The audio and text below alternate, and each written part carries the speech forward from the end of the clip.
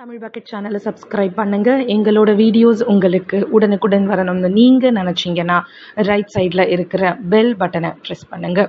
Corona பற்றி ஆராய்ச்சிகள் பார்த்தீங்கன்னா அமெரிக்காவில் இருக்கக்கூடிய ஒரு ஆர்வ- ஆய்வகம் வந்து ஆராய்ச்சி செஞ்சுட்டு இருக்காங்க ஸோ நிறைய தகவல்களை அவங்க வெளியிட்டு இருக்காங்க இப்போ முக்கியமான ஒரு தகவல் வந்து வெளியிட்ட ஒரு விஷயம் பார்த்தீங்கன்னா கொரோனா வந்து வைரஸ் வந்து காற்றில் பரவுமா அப்படிங்கிற ஒரு விஷயத்தில் அவங்க ஆராய்ச்சி செஞ்சுட்டு இருக்காங்க அப்படி ஆராய்ச்சி செய்யும்போது பார்த்தீங்கன்னா அவங்க கண்டுபிடிச்ச முதல் கட்ட கண்டுபிடிப்பு கொரோனா வந்து பேஷண்ட்ஸ் மருத்துவமனையில் அட்மிட் ஆகி அவங்க வந்து சிகிச்சை பெற்று குணமடைந்து வெளியில் போகும்போது அவங்க இருந்த அந்த மருத்துவமனை காரிடார் மருத்துவமனை அந்த ரூமில் வந்து கொரோனா வைரஸ் வந்து காற்றில் பரவுதா காற்றில் இருக்குதா அப்படிங்கிற ஒரு ஆராய்ச்சி தான். ஸோ இப்போ பார்த்தீங்க அப்படின்னா காற்றில் இருக்கலாமோ அப்படிங்கிற ஒரு சந்தேகத்தின் பேரில் தான் இந்த ஆராய்ச்சி நடந்துட்டுருக்கு.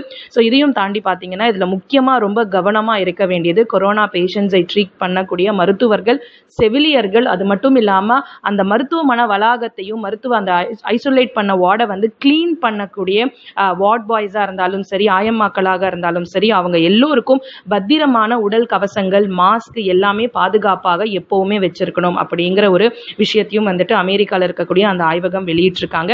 இன்னும் பார்த்தீங்கன்னா ஆதாரபூர்வமான ஆய் ஆதாரபூர்வமான அறிக்கை வந்து இன்னும் கொரோனா காற்றில் பரவுமா அப்படின்னு வந்து அறிக்கை சொல்லலை. பட் இருந்தாலும் எதற்காக இருந்தாலும் சரி கொஞ்சம் நம்ம வந்து பத்திரமா இருக்கிறது நல்லதுன்னு சொல்லி ஒவ்வொரு மருத்துவர் மருத்துவர்களுக்கும் மருத்துவ ரீதியாக இருக்கக்கூடிய அந்த ஹாஸ்பிட்டல் ஹாஸ்பிட்டல்ஸ்ல பார்த்தீங்க அப்படின்னா இந்த விஷயத்தை வந்து சொல்லியிருக்காங்க.